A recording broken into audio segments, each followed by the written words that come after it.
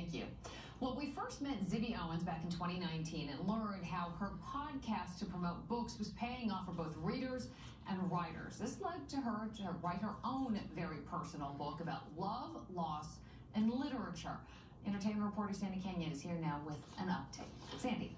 Liz Zibby Owens has sure capitalized on the success of her podcast, which is called Moms Don't Have Time to Read Books. Now, this mother of four from Manhattan has written her own book, a memoir called Bookends. Her podcast has made Zibby Owens one of the most influential people in publishing. I love recommending books to people. I love reading it and then giving the right book to the right person or putting two authors together. Since we first met her three years ago, Owens has talked to some of the most famous authors in the world, staged an award show to honor the best books, and started a publishing company. But her own book is the most personal of all her many projects. It put everything into context for me. It it helped me make sense of periods of time in my life and why I felt that way then. It's been a very therapeutic journey. Zibby was born into a life of privilege, but as a shy child, she had trouble expressing herself. Reading proved her salvation.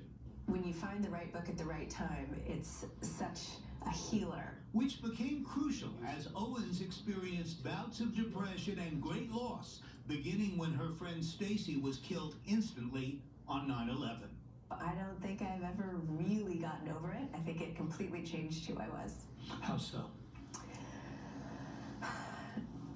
I had not even really considered mortality before Stacy died. Owens began writing back then, living a full life meant Bookends wasn't ready until now.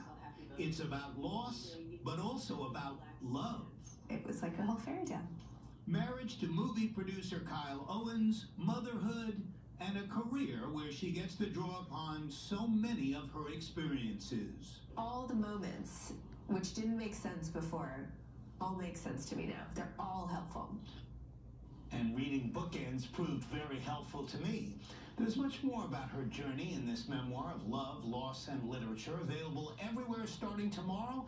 Joe and Liz, she'll be on Good Morning America live in that show's second hour. Zibby found time to write. Okay. All right. Thank you. Thank you.